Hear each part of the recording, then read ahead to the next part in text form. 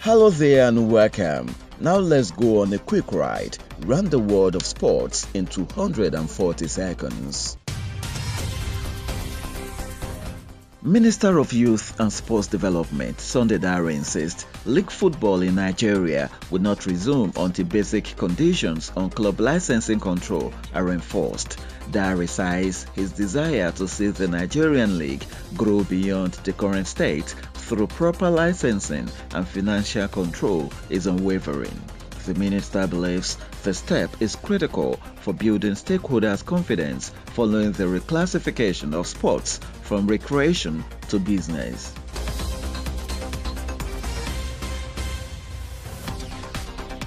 Super Eagles midfielder Ogenekare Etebo has expressed delight at linking up with Galatasaray. Etebo will spend the 2020-2021 campaign at the Turkish Super League club after sealing a season-long loan deal from Stoke City on Wednesday.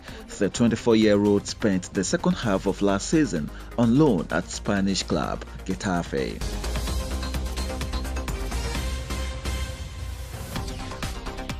Manchester United are close to making a breakthrough in their efforts to sign Jadon Sancho from Borussia Dortmund, with progress made between United and Sancho's representatives on the issues of agent fees and personal terms.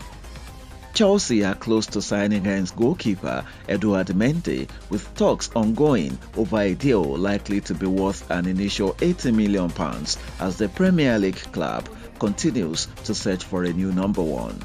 Arsenal are anticipating a third bid from Aston Villa for Emiliano Martinez as they hold out for close to £20 million for the goalkeeper.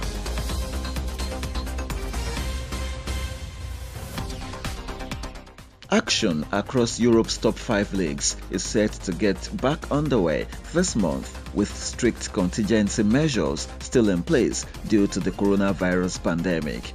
League action returns in England this weekend with the encounter between Fulham and Arsenal live on NTA on Saturday. The new La Liga campaign kicks off on September 11 with NTA Sports Channel set to beam live matches.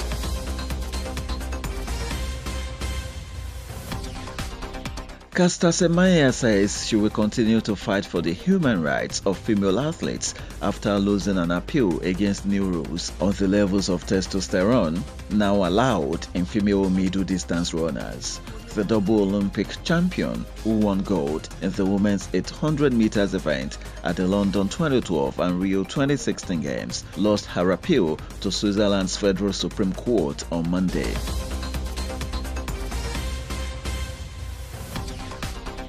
Serena Williams kept alive her hopes of a record-equaling 24th Grand Slam singles title with a 4-6, 6-3, 6-2 win over Svetlana Pironkova in the US Open quarterfinals. The six-time champion struggled early on with the variety of shots from the unranked player, but recovered to claim the second and third sets. The 38-year-old will now play former world number one Victoria Azarenka.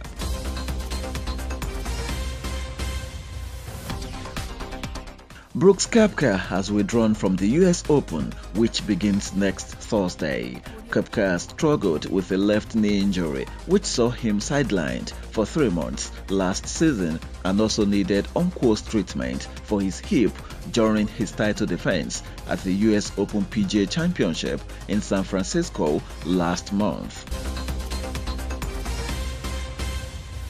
And that will be all on Sports Titbits for this week.